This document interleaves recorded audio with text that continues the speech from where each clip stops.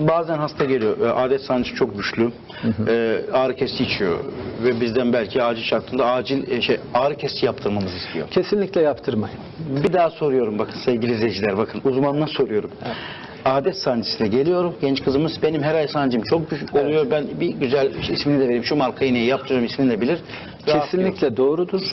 Adet sancıları olur. 99 tanesi adet sancısıdır.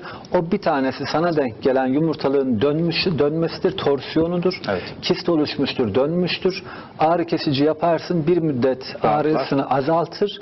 Tamamen de aslında geçirmez, çok kuvvetlidir ama işi uzatır, kangrene gider, yumurtalığını kaybedebilir.